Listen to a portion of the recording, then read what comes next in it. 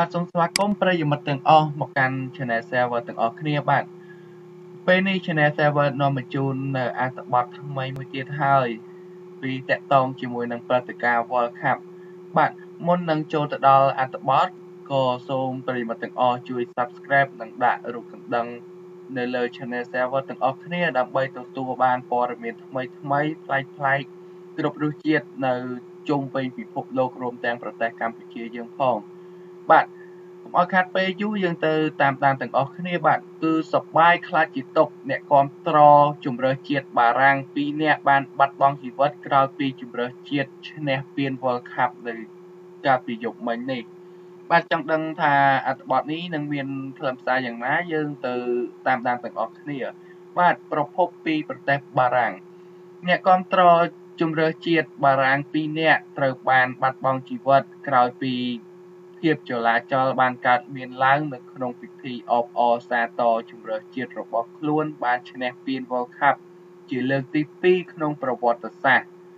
ការប៉ះទង្គិចគ្នានេះបានកើតឡើងកើតមានឡើងក្រោយពីប៉ូលីសមិនអាចគ្រប់គ្រងស្ថានភាពកម្មវិធីអបអរសាទររបស់អ្នកគ្រប់គ្រងជម្រើសជាតិបារាំងបានបន្តទៅទៀតបាន។ ភាពចលាចលដ៏អាក្រក់បែបនេះបានកើតឡើងនៅកណ្ដាលក្រុងប៉ារីស ជាពិសេសគឺនៅលើផ្លូវ Champs-Élysées ដែលផ្លូវនេះជាកន្លែងជួបជុំគ្នារបស់អ្នកចង់ទស្សនាប្រកួតរវាងក្រុមបារាំងទល់នឹងក្រូអាតបើយោងតាមរបាយការណ៍បឋមរបស់ប៉ូលីសក្រុងប៉ារីសបានបង្ហាញថាយ៉ាងតិចណាស់ជនស៊ីវិល 2នាក់ត្រូវបានបាត់បង់ជីវិត ហើយជាង300នាក់ទៀតត្រូវរងរបួសក្នុងការប៉ះទង្គិចរវាងប៉ូលីសនិងអ្នកគ្រប់គ្រងបាល់ទាត់នេះផងដែរបាទនេះគឺជាព័ត៌មានមួយដែលរន្ធត់មែនតើបាទ